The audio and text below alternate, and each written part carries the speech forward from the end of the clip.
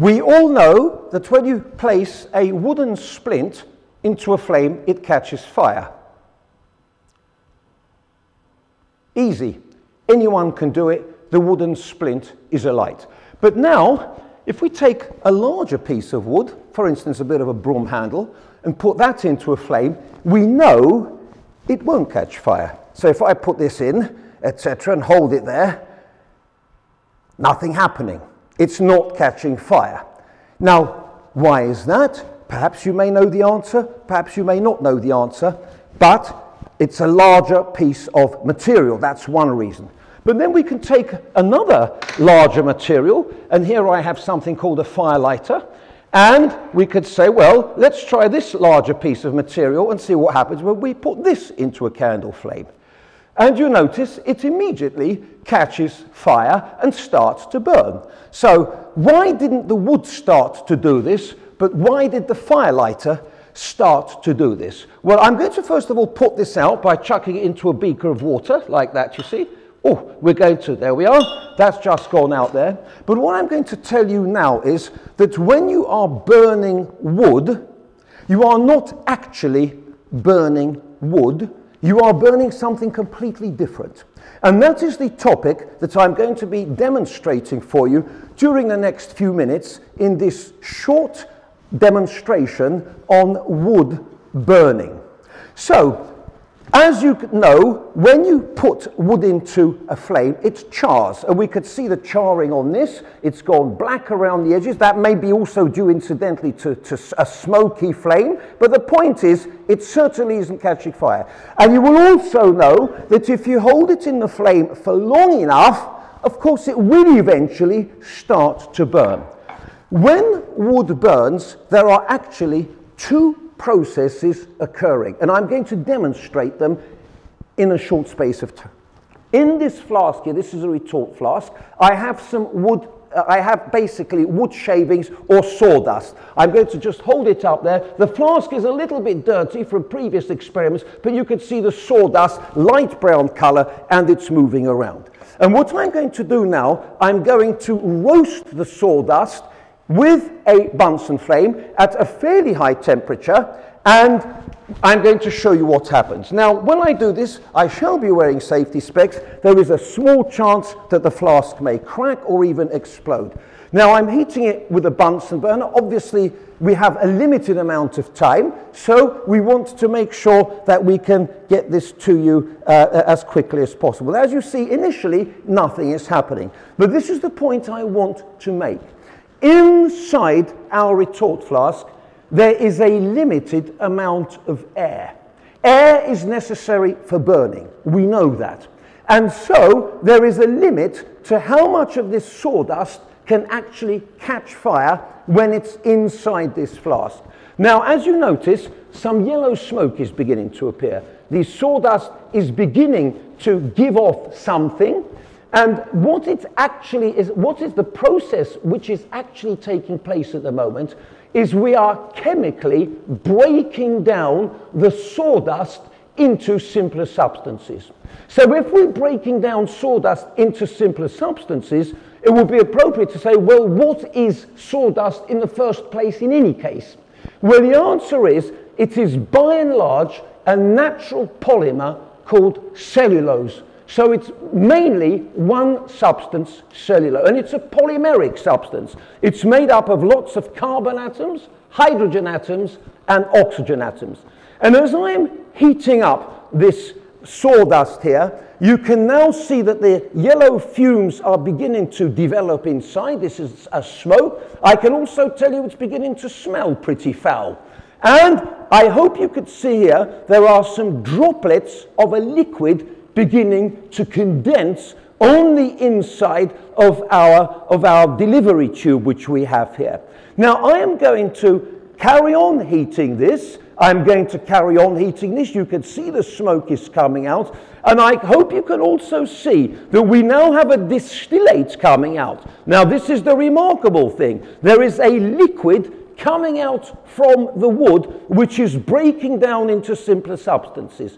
I will now also tell you, you will not be surprised to know that when the sawdust is being heated, it is obviously going to give off gases which catch fire. And I hope to show this to you in a few seconds. I will just try and put a light to it now. I don't think it'll catch fire, but just to show you. But there is certainly some steam being produced, and there is certainly a distillate, which is a liquid being produced. So if I put a light to it now, you'll see, oh, we already have a flame. We already have a flame. Now that flame is remarkable. It's like burning a piece of wood, but at a distance. Here I'm burning the wood directly. Is this flame the same as this flame? Yes, exactly the same flame because I'm burning the same substance. Only the source of heat here is further away. Now, what I'm going to tell you is that this flame which I am burning here is a mixture of flammable gases. Think for a second what that mixture might involve. But I'll tell you the most surprising thing of all, even though this mixture of gases is burning, it's actually mainly carbon dioxide. Over 50% of these gases are carbon dioxide. The other main component is carbon monoxide, CO. And I have asked Dr. Owusu to come and assist me and to demonstrate. So if you could kindly, I'm going to introduce Dr. Owusu is helping me in today's demonstration. In order, please get cracking on it. Dear sir, thank you very much. Do, I'm just telling you, Dr. Owusu is kindly helping me today in today's demonstration just to make sure that things move a little bit faster from one experiment to another and we can show you everything. So the gas, the main combustible gas that's produced when we decompose wood by the action of heat. By the way, this is called pyrolysis, the breaking down of a substance by the action of heat. And I'm just going to move my candle over here to, in order that um, uh, the Dr. Owusu can set fire to carbon monoxide. Now, this is pure carbon monoxide, which incidentally, you know, and look at that beautiful blue flame. Could you please move it to the front now, dear sir? Just very carefully to the front. I'll take the candle away. We have we have many hands on deck here, and then swirl it around a little bit so that everyone can see this magnificent flame. Now, what is happening? That is the main combustible, yes, put it on, the, put it down, that's it, that's it. The main combustible gas in here then is, uh, in the wood is carbon monoxide, which as you know is very toxic. It's a highly toxic gas. You can't see it, you can't smell it, and yet it's very, very deadly. Now, fortunately, there is no carbon monoxide escaping because it's all being burnt. And there you see, and what does carbon monoxide produce when it burns?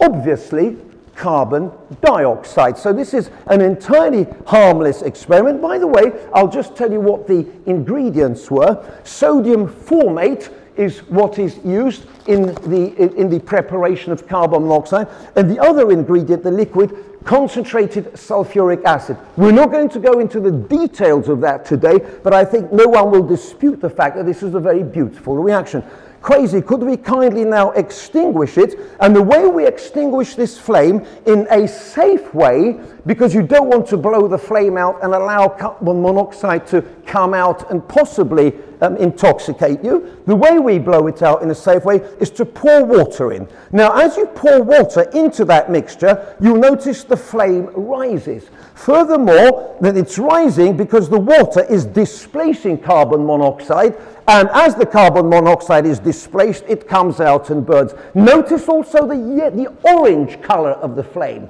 I don't know whether you can guess why the flame has gone from blue to orange now. The explanation is very simple, but I'm not going to tell you today. All I'll give you is a hint. The substances used to make were sodium formate and concentrated sulfuric acids. Why did the flame turn orange?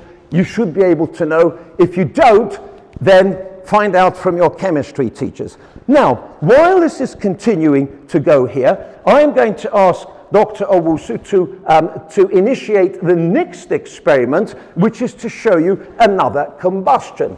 And this will concern one of the liquids which is produced during this. So if I can ask you, uh, dear sir, to um, set this up and take your time, there's no need to hurry.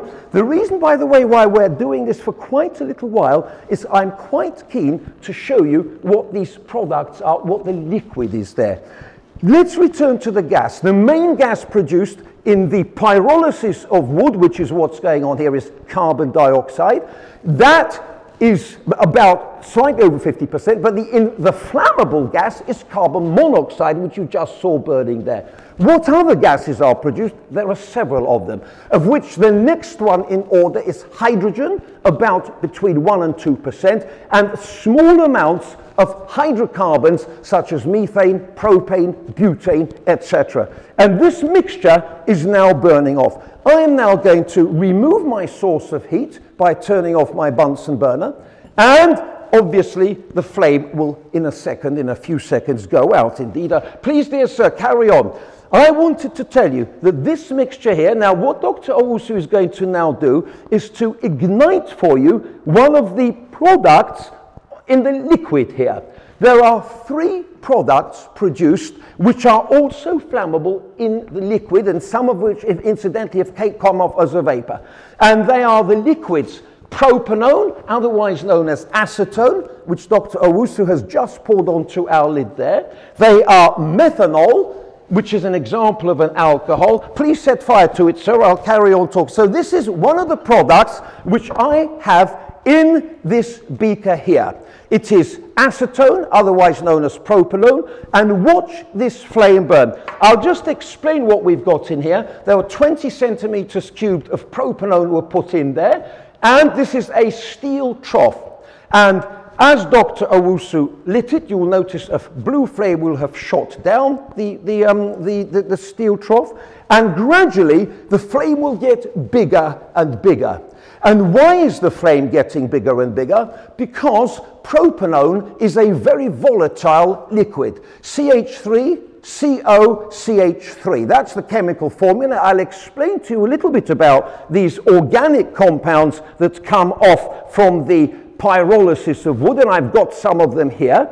And I will tell you a little bit more about them. So propanone is that one there, which is produced in this destructive distillation. By the way, it's called, this process is called also, in addition to pyrolysis, we call it destructive distillation. The reason why we call it destructive distillation, well, because you're literally destroying the molecules. And we have, as a product here, this liquid, which, as I said, will have contained some acetone, propanone, but it will also contain mainly two other ingredients. And those two ingredients are ethanoic acid and methanol. And I will tell you a little bit about more about these later on. Basically, we have produced three liquids from three different families of organic chemicals. Organic chemistry is the study of chemistry of substances found in living things. And this was a branch of chemistry which developed significantly during the middle of the 19th century. And it was the German chemists who were particularly good at this. About, about from, they separated using fractional distillation and other techniques, they separated the products of various processes involving living things.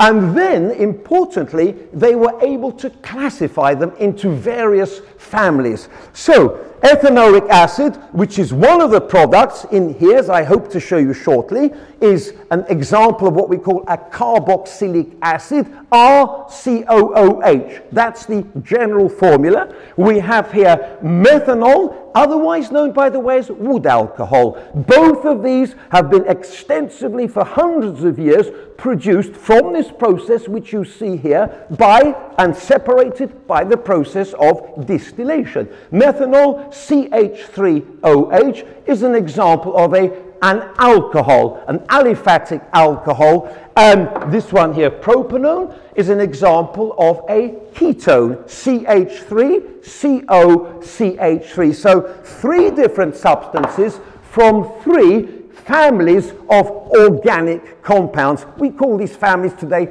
homologous series. Now, I can hopefully what you'll also notice is this liquid which I have here is quite murky. It's quite murky. It's not a crystal clear liquid like these here.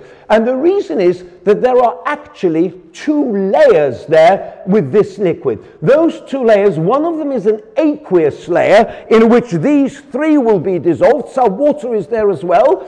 But the other one is a dense oily layer. Now that dense oily layer contains phenolic compounds, much larger molecules of an aromatic nature. They have benzene rings in the middle of them and then other branches coming off. So we have an oily residue and an aqueous residue. And this liquid is called a pyroligneous liquid. It's been pyro means fire, ligneous means from wood. Now, what I'm going to do, just I hope to be able to demonstrate for you, is just to pour off some of this. Um, some this is water, by the way, with universal indicator in it. It's green. Hopefully, it will turn red when I pour it in to show the presence of an acid.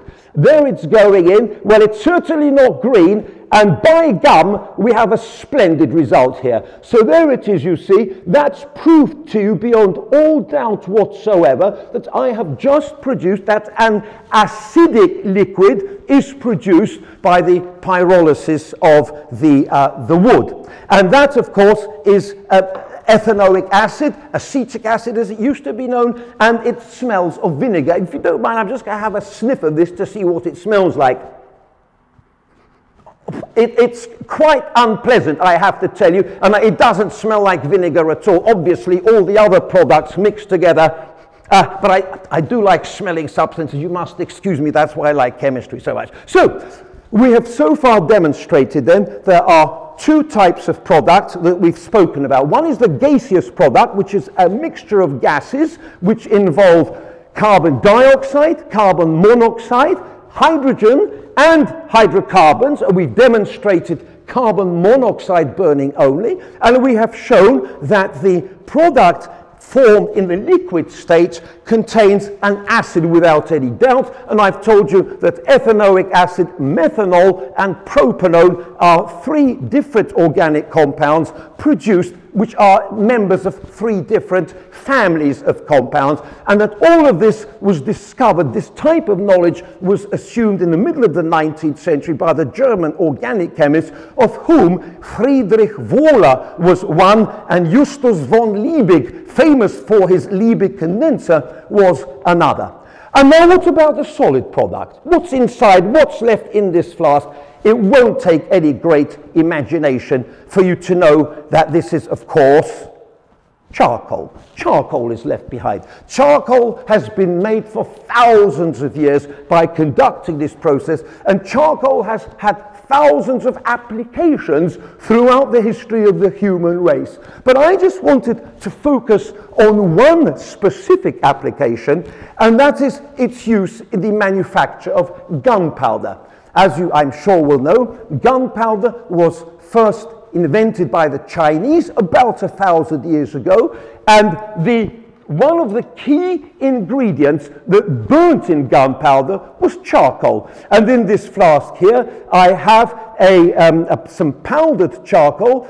Kwesi, could I ask you please, in my box over there, excuse me, you may be able, oh, the box there, you should find a large lump of charcoal. Can you see one? Thank you so much, dear sir. Sorry, I forgot to, but I just wanted to show you. Look, everyone knows, thank you very much. This is a bit of barbecue charcoal, but that's how a large lump looks. And you know, if I put it in a flame, obviously it's not going to catch fire immediately. We have to heat it for a while. But this is about 90% carbon. And this charcoal, all wood charcoal, is about 90% carbon. It is very porous. You can actually see the structure of the grain of the wood from which this came. And that, of course, is 90% carbon and some inorganic substances and some fairly complex organic molecules as well. But returning to the subject of gunpowder, charcoal has been known for thousands of years, and the other ingredient in gunpowder is sulfur. Sulfur is an element found in underground, in volcanic regions. It's always been associated with fire,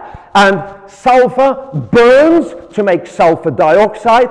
Charcoal burns to make carbon dioxide. But if you burn them in air, it's not much fun. You'll just get some sparks coming up from the charcoal. The sulfur will catch fire and burn with a very quiet blue flame, giving off phenomenally noxious fumes of sulfur dioxide, and that will be about it.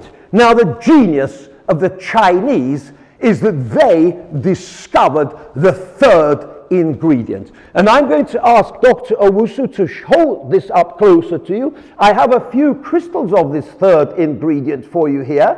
And I've got some in this flask as here finely powdered. And if you can have a look at those crystals, they are beautiful crystals of a substance which has played a great role in human history, not only through its use in gunpowder, but also in fertilizers and for helping us to understand the composition of air as a mixture of nitrogen and oxygen. Before I tell you what that substance is, and I very much hope that most of you know in any case, I wanted to tell you that the reason why the Chinese discovered it, because it literally grew out of the soil. Thank you very much, Kwesi. So if we put this down, and as it grew out of the soil, how on earth can crystals grow out of the soil? It's a long process, essentially where cattle pass urine, and the urine reacted with residues in the soil, which I'll be showing you very shortly. Then potassium nitrate was produced in nature. And you might also know that potassium nitrate, on account of its extreme importance, has played a major role in the explosives industry. And it was manufactured mainly in India. India was the country which used to export huge amounts of potassium nitrate throughout the world for the manufacture of gunpowder and for use in artificial fertilizers. And so potassium nitrate then was this key ingredient. How did it make the gunpowder work? What was the what was the magic thing about gunpowder? The honest truth is the Chinese didn't know. But then they didn't care. They knew that it gave a good result. And much of science has developed empirically, simply through people using common sense and being able to note and remember what happened and then be able to exploit it for their benefit. So I'm just going to show you, explain to you a little bit about gunpowder and how it has played or how it has been made. Now, the one thing I'm sure you'll uh, recognize is that gunpowder wasn't invented overnight. Gunpowder would have taken hundreds of years for people to recognize the fact that where people were burning fires in the vicinity of campfires or wood fires, these crystals seem to be found in the soil. I note once again, we're talking of hot countries with a wet, moist climate and cattle urinating. So you have to have all those three farmyard soils and so forth. And those crystals were there. And what the Chinese would have observed is that in the vicinity of those crystals, the charcoal would have sparked up or burnt a little bit better. And over the hundreds of years that elapsed, they would have started adding these crystals, powdering them up, and getting a result which has led to gunpowder. So I just wanted to show you now how this type of powder burns. And I'm going to pour at this, and I wanted also to tell you that gunpowder is made from proportions which are approximately, once again you should know this, 75% potassium nitrate, 15% charcoal, 10% sulfur by mass. And that result, those proportions, were achieved over a period of hundreds of years. We still can't write an equation for the combustion of gunpowder. It's so complicated. But once we take those three elements, those three, rather two elements and one compound. This is a non-metal element, a non-metal element, and a compound potassium nitrate, formula KNO3, as I'm sure you know. Then we mix them together, then we will get something like this. And the Chinese, they used to call this serpentine powder. So I'm pouring out a trail of this powder now, mixed in the right proportions of 75% by mass, 75% by mass of potassium nitrate, 15% by mass of charcoal, and 10% by mass of sulfur. There we are. It's all there we are. I'm just going to spread it out a little bit more with a spatula, and then I'm going to set fire to it. And I'm going to ask you, do you think that this is the way that gunpowder burns, or is this what you'd expect when you mix these up? Because people frequently mix these together and try and get a result, and they're surprisingly disappointed. Now, I'm going to ask Dr. Owusu to kindly put the fume cupboard on. As you can imagine, this is going to make a lot of smoke. Uh, let's actually, let's, let's let it happen first. And Kwesi, let's, before we switch it on, let's light it first. So this is what's known as coarse serpentine powder. It has not particularly been mixed to um, uh, the ground to a great deal, and you see it's not even that easy to ignite. But once it's burnt, then I'll ask uh, Dr. Owusu to kindly turn on the fume cupboard. So here it is, I'm just mixing it up, and there you see. Now, I'm sure you'll agree that's not exactly spectacular. It's quite good fun. It's giving it a lot of light and a lot of sparks, but that's not exactly something that you could say will make a banger go off or something along those lines. And what I wanted to show you now is to look at the residue. If you look at the residue which is left behind, you will notice that there are many yellow blotches on there, pale yellow blotches.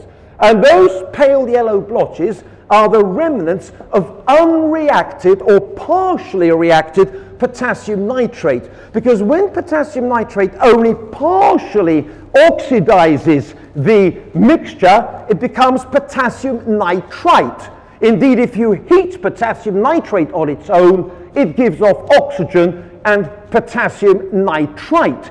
2KNO3 gives you 2KNO2 plus O2. So that's what the residue is there. However, the Chinese recognized that if you grind up the powder, if you grind it up for 12 hours in using heavy stones and we call the process is called milling, then you get a much finer powder which burns much more efficiently. So I'm now going to set fire to some of this much more efficiently ground powder which contains a much higher surface area and let's see how this burns. So we've now put some milled serpentine powder, once again using common sense. It's the same technology as is used for bread making, by the way. Flour has been made since time immemorial by grinding the, the, the wheat seeds, etc. And this is the same way that we grind the powder to increase the surface area. It's intuitive. You don't necessarily have to understand the science.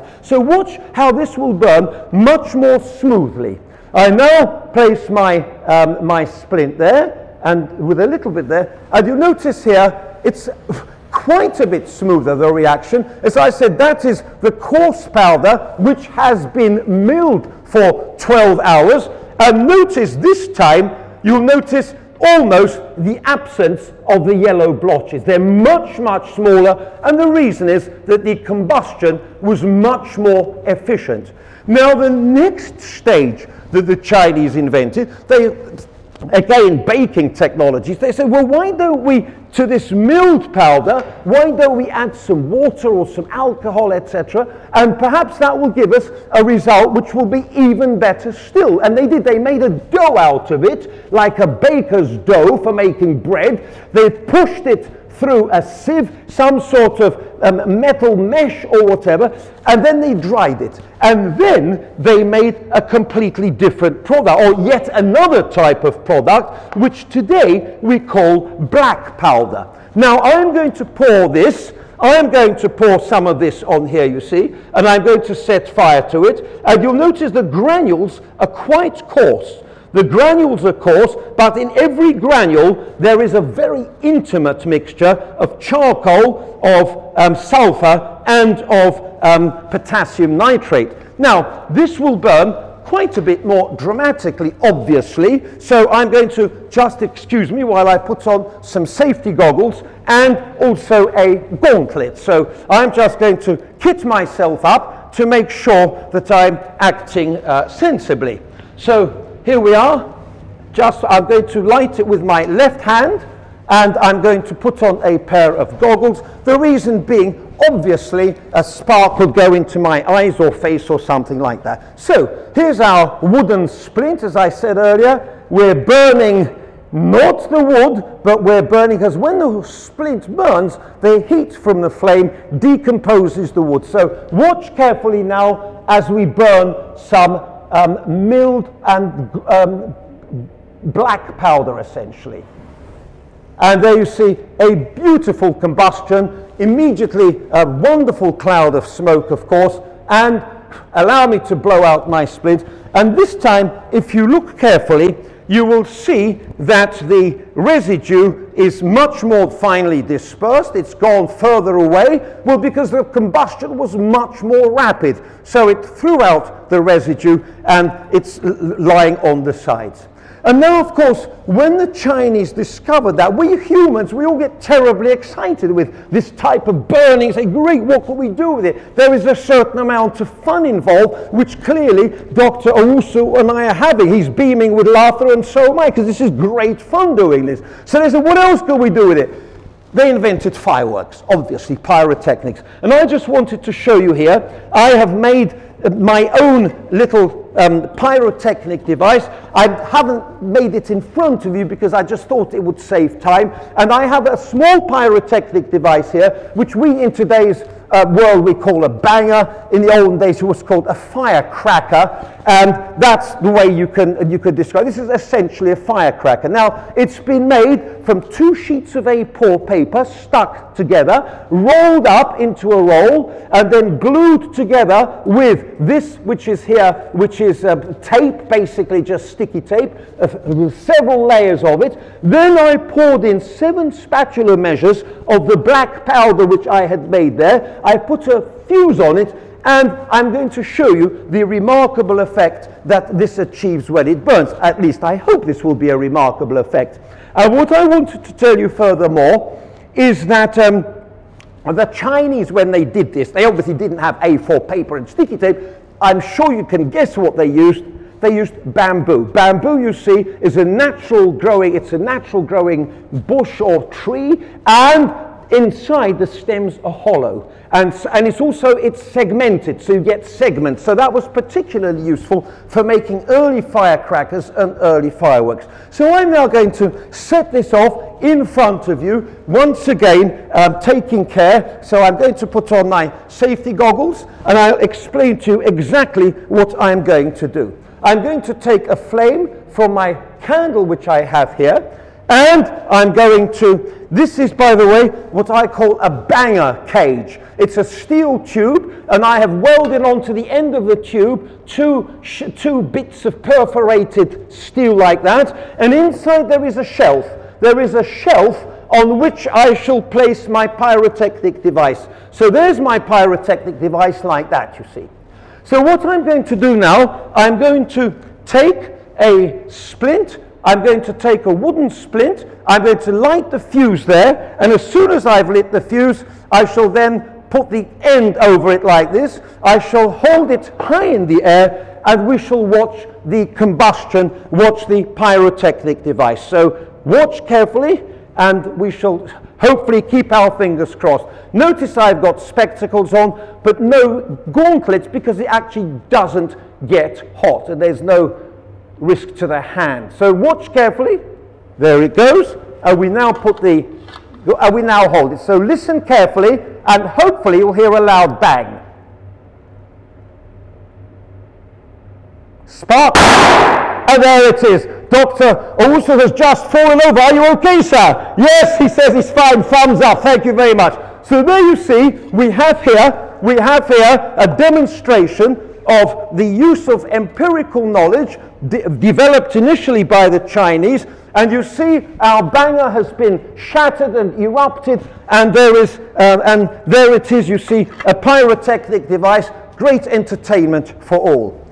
Having then demonstrated for you, having shown you the effects of the pyrolysis or the thermal decomposition of wood, the breakdown of wood, which I'll repeat, a mixture of gases, a mixture of liquids, and charcoal, which plays a key role in gunpowder. Let's now turn to the products of what actually is formed when the wood burns. So here we've now, I've told you that in between the wood which you see here and the final product which is coming off from this flame, there is the intermediate stage with all these things I've been talking about. But when the wood burns, what, is, what are the two main products? Well, wood, as I said, is a natural carbohydrate. It's a natural polymer, carbohydrate called cellulose. So it stands to reason that when this burns, it combines with oxygen in the air to make primarily two products, carbon dioxide and water. So those are the two products. We can say that carbon dioxide is the airy form product, the one that becomes a gas. Water, when condensed as steam, will form a liquid.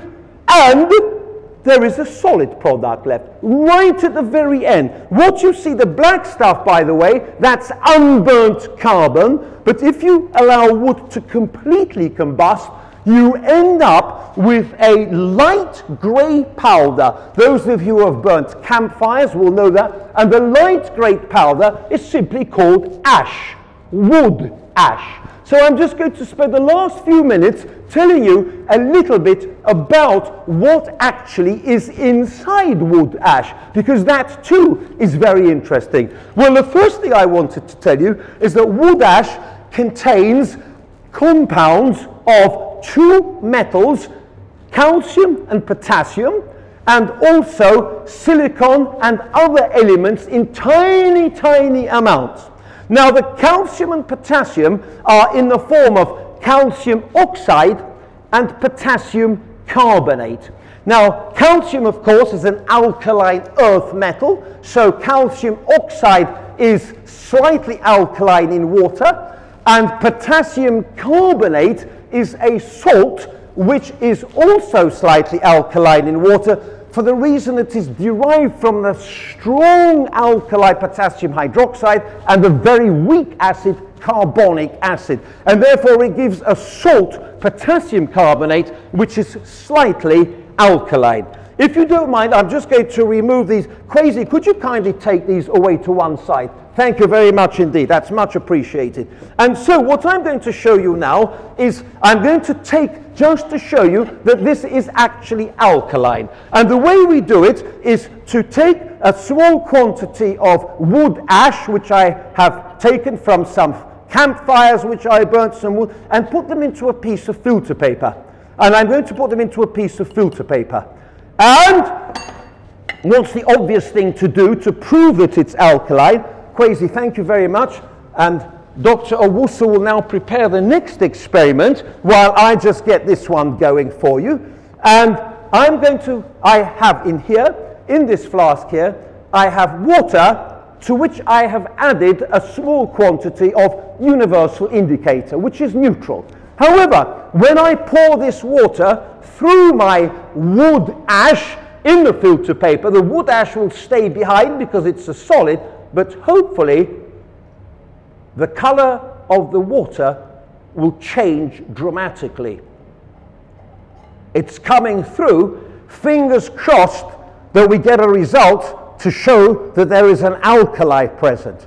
Now, of course, calcium is a member of the group of elements called the alkaline earth metals. They are not particularly soluble in water, and calcium oxide is the, one of the ingredients there. And potassium carbonate, as I said earlier, is an alkali metal. And as I pour the water through, sure enough, to my utter delight, I am very pleased to report to you that it is coming through as a, with a, a violet color, and that is due to the presence of two hydroxides. Calcium hydroxide, which is barely soluble in water, and potassium hydroxide, formed from the hydrolysis of potassium carbonate. And at this stage, I'm going to ask Dr. Owusu to demonstrate to you, close to the camera, the fact that the wood ash contains a carbonate. Now, I'm sure you know what the test for a carbonate is. Any carbonate, which when it reacts with a dilute acid, will produce carbon dioxide. It will start fizzing and it will produce carbon dioxide and the test for that is it turns lime water milky. Now, on my left, Dr. Owusu has just added some dilute sulfuric acid to some wood ash, and it's frothing up like the clappers, as I hope you can see and he will just swirl it around a bit more to make sure, and you will shortly see the lime water turning milky. Now, what that is doing, that is demonstrating for you that without any doubt, the fact that it fizzes means it's a carbonate, and the fact that the lime water is going milky tells you that the gas coming off is carbon dioxide. So uh, that might be out of focus. Like we, we, we, unfortunately, we don't have a cameraman here, so we've experimented a bit, but I hope you could see it going milky. Thank you very, very much indeed, sir. So that that you see is irrefutable evidence that there is a carbonate present in wood ash, and I'm telling you that that carbonate is potassium carbonate. Now, before we go on to our final experiment, I wanted to show you, I told you the other main metal is calcium, and calcium can be extracted, both of these metals can be extracted, indeed, from wood by the process of electrolysis. It was the great English chemist Humphry Davy who developed the technique of electrolysis as a means of decomposing compounds into their elements. So I'm now going to take some calcium for you, some metallic calcium, and show you its reaction with water. Excuse me.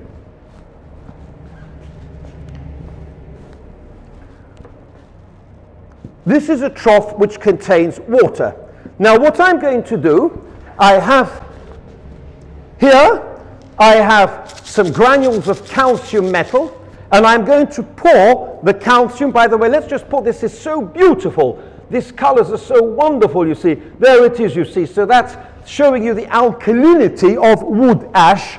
And I am now going to sprinkle some calcium into this. And when calcium reacts with water, it makes calcium hydroxide, which is barely soluble in water, and hydrogen gas. And what I will do, I will set fire to the hydrogen gas as it is on the water, and you can then see it burning. So I'm now just going to take um, a wooden splint here.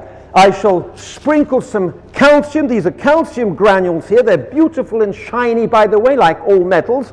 And once this is bubbling, I will apply a lighted splint and you can see the hydrogen burning with a beautiful brick red flame. So let's go, here we go. So there's a bit of calcium going in, a, which we call a generous sprinkling. And there it is. It's now beginning to bubble, boil and bubble and toil and trouble. And now let's light the hydrogen. And there you see hydrogen, you see, there is burning. Notice the color of the flame. It is a brick red flame.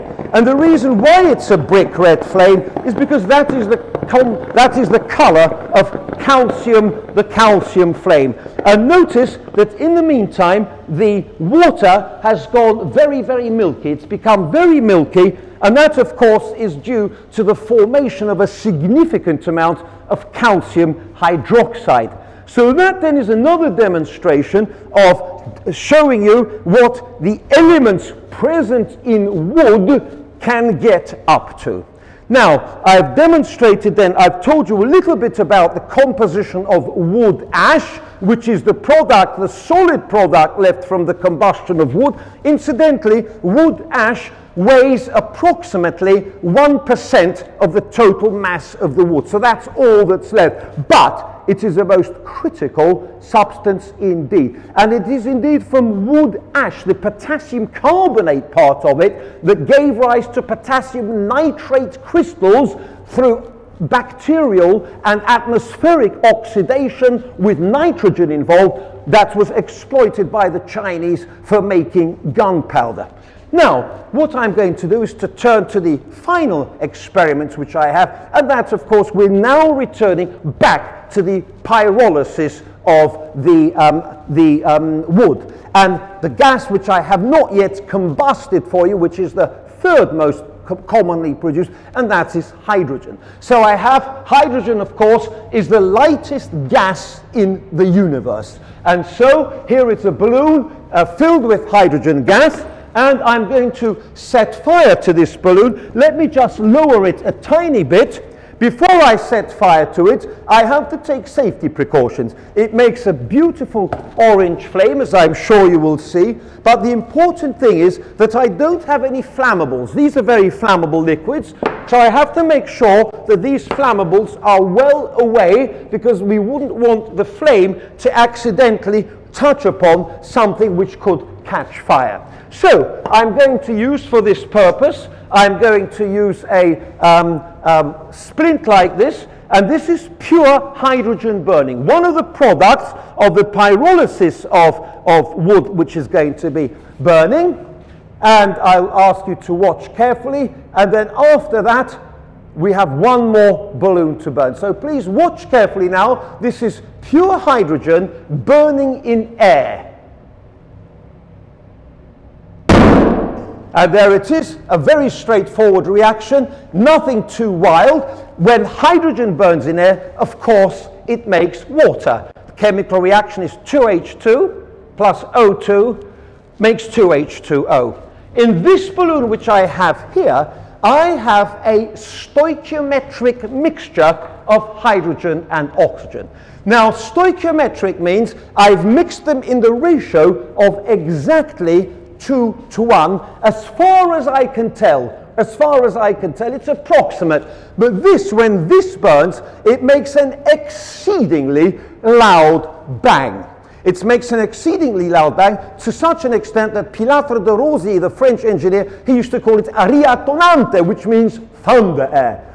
And once I have done this experiment, which will make a very loud bang, now you probably won't hear the, uh, the bang that loud, but watch, it's a flash. It's a very, very bright flash indeed. And after that, I will say goodbye to you and thank you for your attention. So please watch carefully, watch carefully and listen carefully. And this is then thunder air, a mixture of hydrogen and oxygen. So there it is. Please come over, Dr. Owusu. Thank you very much. That is the last experiment. I hope you've enjoyed learning something about the combustion of wood. Thank you very much indeed, dear sir, for your kind assistance. And thank you everyone for watching and very, very best wishes to you all. Thank you.